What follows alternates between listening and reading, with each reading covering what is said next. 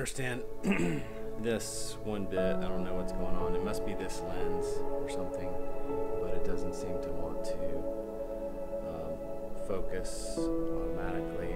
It's not showing the f-stop. I was using the automatic focus. I don't know whether it worked or not. It seems like this lens only works if I tilt it on the side and then rotate it back around, tilt the whole camera. I don't know why that's doing that. Um, it may also be just that the system needs to work itself out. I don't know, but now it seems to be working okay. Um, I just did the automatic focus. Maybe the light was too dark for it to register.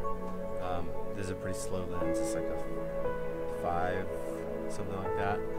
So it seems like I kind of have to wake up the lens or something. I have to wake up the Metabones by pressing that um, little button it has on the side. I'm not sure why that's the case. Um,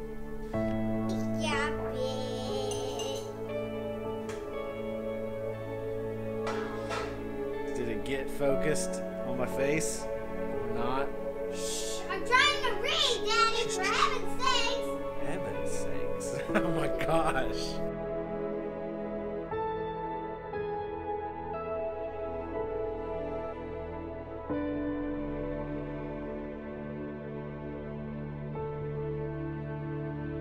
So this is shot with me propping the bars against my chest. See how balanced it is.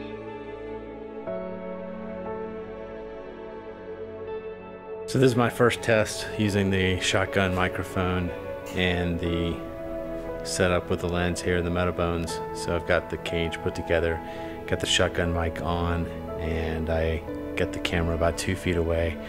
The shotgun is set to five, and over there I've got a refrigerator, freezer running. You can probably hear it. Um, if I turn this way, you can probably definitely hear it.